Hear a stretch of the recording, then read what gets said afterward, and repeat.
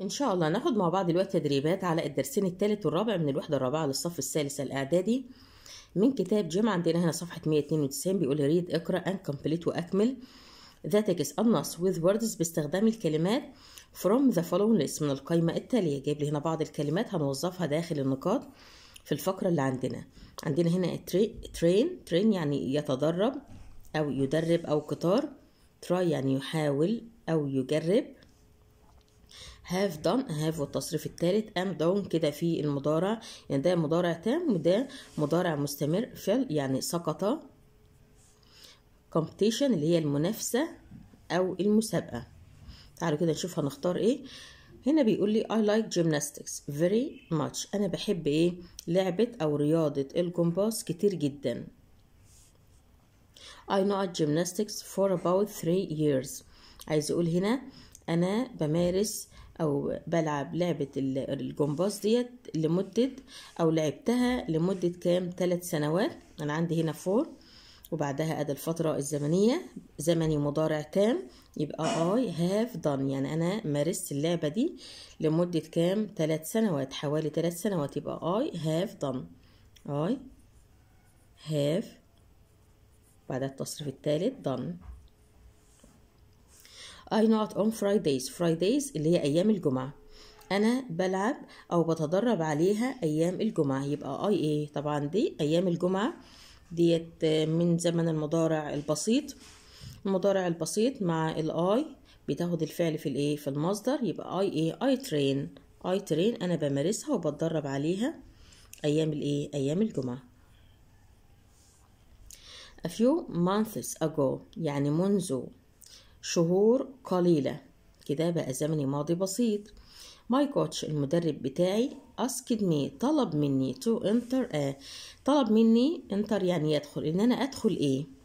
طبعا هيطلب مني إن أنا أدخل المنافسة أو المسابقة competition المسابقة.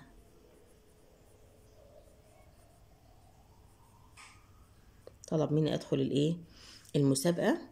Unluckily ولسوء الحظ I couldn't participate أنا participate يعني إيه؟ participate أنا ما قدرتش إن أنا participate يعني يشارك.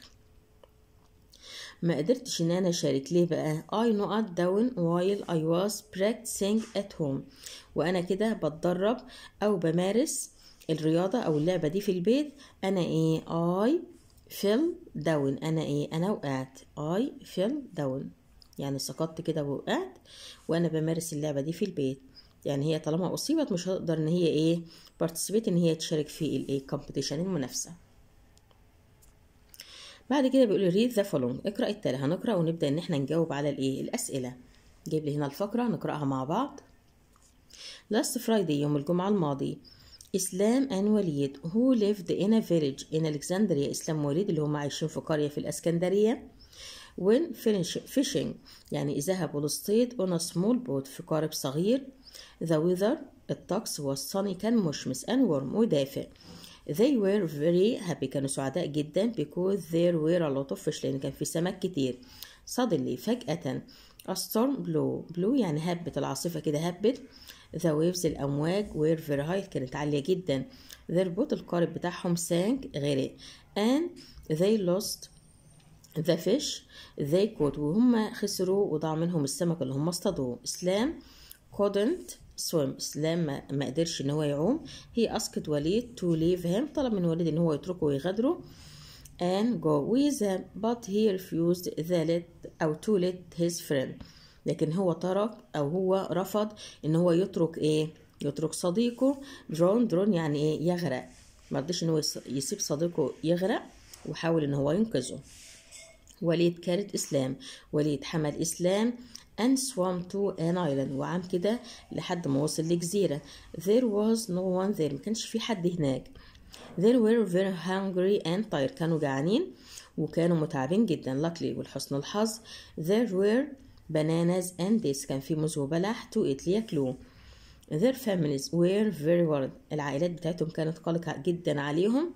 At night وليلا they felt cold. شعروا بالبرد. So لذلك they made a shelter from trees. يعني اتخذوا كده من الأشجار تكون مأوى ليهم. يعني اتداروا كده ورا الأشجار.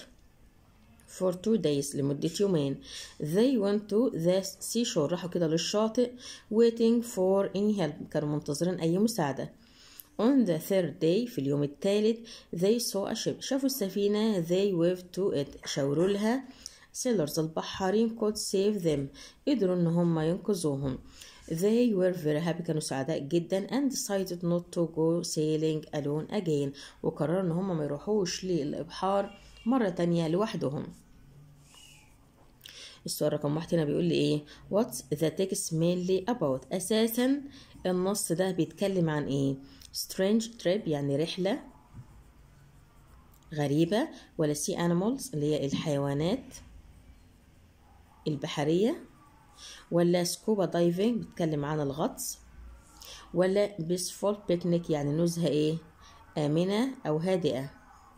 آمنة أو هادئة.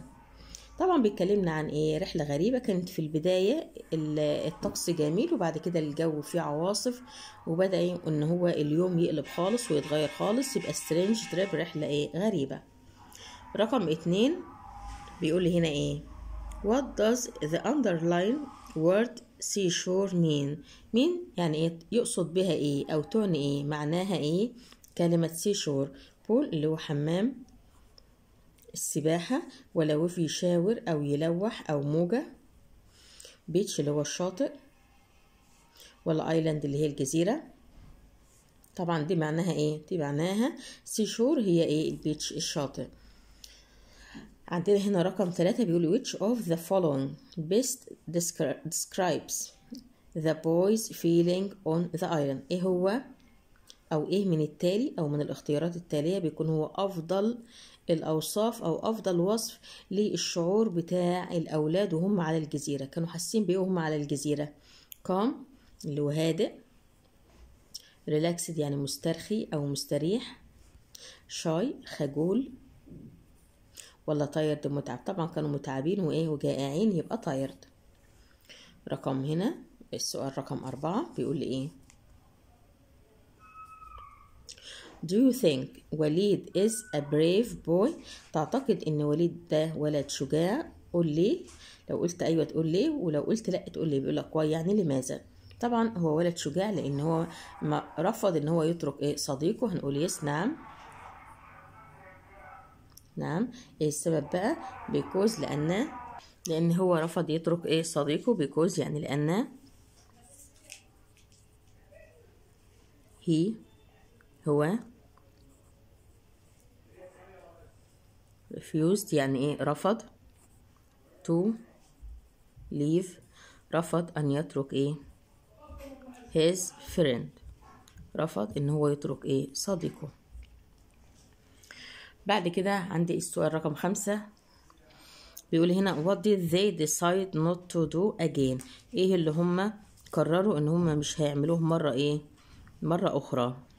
قرروا ما يعملوش إيه مرة تانية. طبعا اكتب بس الإجابة هنا عشان مفيش مكان. هنقول لها طبعا قرروا ان هم ما يروحوش الإبحار لوحدهم مرة تانية. يبقى they they يعني هم decided يعني هم إيه؟ هم إيه؟ قرروا not to go to أو not to go sailing. Not to go sailing. اللي هم مش هي... هيروحوا أو هيذهبوا للإبحار ألون يعني لوحدهم. أجين مرة أخرى. مش هيروحوا للإبحار مرة تانية لوحدهم. السؤال رقم ستة بيقول لي هنا How do you think their parents feel after they returned home? عايز يقول هنا تعتقد بقى آبائهم شعروا بإيه لما رجعوا للبيت. أجين مرة إيه؟ مرة تانية. وراحوا للبيت وروحوا لبيتهم مرة تانية. طبعا حسوا بالسعادة يبقى هقول هنا I أنا think. أنا إيه؟ أنا أعتقد their parents إن والديهم their parents أعتقد إن والديهم were very happy كانوا سعداء جدا. were يعني كانوا very كانوا إيه very happy سعداء جدا. بسبب إن هما أولادهم رجعوا للبيت.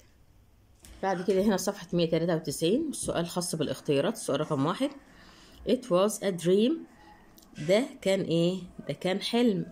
as لأن I was asleep. لأن أنا كنت إيه؟ asleep أنا كنت إيه؟ نايم. تمام؟ The antonym of asleep. الانتونيم اللي هو المضاد. المضاد من كلمة نائم. عايزة بقى شخص نائم عكسه إيه؟ أو مضاد نائم إيه؟ Fast يعني سريع. Awake يعني مستيقظ أو يقظ. special خاص ومميز. usual عادي.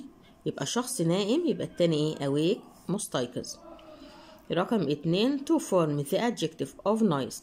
عشان إن إحنا نشكل ونكون ونجيب ال adjective الصفة من كلمة noise add the suffix. هنضيف الايه هنضيف اللاحقة نضيف حروف إيه في الآخر.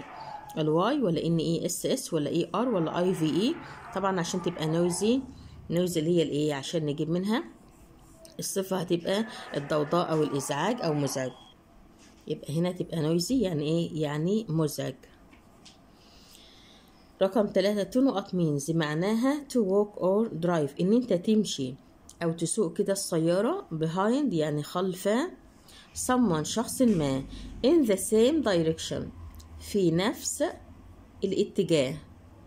تمشي ورا واحد أو تسوق ورا منه السيارة في نفس الاتجاه زي ما هو هو ماشي تمشي وراه يبقى أنت كده بتعمل إيه؟ join ينضم أو يلتحق ولا follow يتبع أو يتتبع هذا الشخص. dream يعني حلم أو يحلم ولا about يعني يعتني بيه أو يهتم بيه. ماشي ورا حد يبقى أنت بتتتبعه يبقى to follow يتتبع. رقم أربعة he has had hearing problems. هو كان عنده مشكلات في الإيه؟ عنده مشكلات في السمع. all his life طول حياته. so لذلك he started to learn. بدأ إن هو يتعلم نقط language. بدأ يتعلم لغة إيه؟ Symbol اللي هو الرمز. Sign اللي هي اللافتة أو الإشارة. وسيجنال برضو اللي هي الإيه؟ الإشارة. Ear اللي هي الأذن. طبعا بدأ يتعلم لغة الإشارة. لغة الإشارة اسمها sign language لغة الإيه؟ لغة الإشارة. رقم خمسة بيقول لي هنا when he walked for too long. يعني لما مشي كده لفترة طويلة أو لمسافة طويلة. And didn't find his way. وما قدرش يلاقي الطريق بتاعه. ما عرفش الطريق اللي هو رايح له فين. He thought he was. هو اعتقد بقى إن هو إيه؟ lost. إن هو كان تايه. ولا amazing. ولا كان مدهش. ولا awake. يعني يقظ. أو مستيقظ. ولا strange. يعني غريب. وهو ماشي كده لفترة طويلة وما عرفش يوصل أو يلاقي المكان اللي هو عايزه أو الطريق اللي هو عايزه هو حس إن هو إيه was lost يعني تائه أو مفقود. رقم ستة she's writing a note to her first novel. لأول رواية عندها كتبت لها إيه؟ sequel اللي هي الخاتمة بتاعتها بتختتم الرواية بتاعتها. ولا book الكراسة. poster ملصق أو منشور. ticket التذكرة. طبعا كتبت الخاتمة والنهاية بتاعت إيه؟ her first novel أول رواية ليها. يبقى sequel. بعد كده الجزء الخاص بتصحيح الخطأ والسؤال رقم واحد. بيقول هنا ياسر بي abroad for two years. عايز يقول هنا سافر للخارج لمدة سنتين. Now الآن he lives in Cairo. دلوقتي بيعيش في القاهرة. أنا عندي فور هنا. مضارع تام. يبقى ياسر بياخد معاه إيه؟ طبعا الفعل بتاعه مفرد. ياخد معاه هاز والتصريف الثالث من بي وهو بين. has been رقم اتنين the last time. يعني آخر مرة. She travel was five months ago. عندي ago منذ من الكلمات الدالة على الماضي البسيط بيسبقها فترة زمنية. مع أي فعل التصريف التاني للفعل؟ التصريف التاني من travel traveled.